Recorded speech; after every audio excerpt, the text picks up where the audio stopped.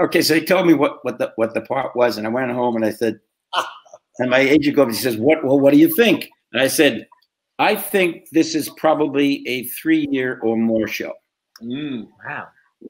And he said, Well, isn't that enough? I said, It's too long. Wow. I'm, Yeah. I'm 42 years old. I'm I'm I'm not going to spend the rest of my middle age in you know uh, doing this one show.